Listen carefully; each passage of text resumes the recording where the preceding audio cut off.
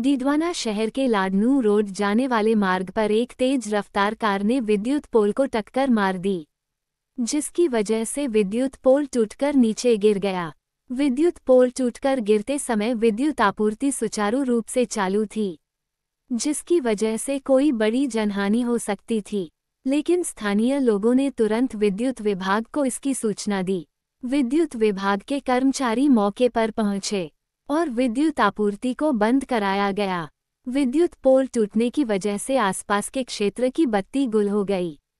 वही मिली जानकारी के अनुसार एक तेज रफ्तार कार लाडनू रोड की तरफ़ से आ रही थी।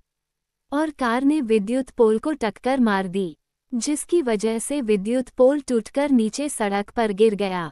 बताया जा रहा है, कार सवार शराब के नशे में धुत था, जिसके चलते उसने विद्युत पोल को टक्कर मार दी। और मौके से फरार हो गया। घटना में किसी तरह की बड़ी जनहानि, बड़ी दुर्घटना हो सकती थी।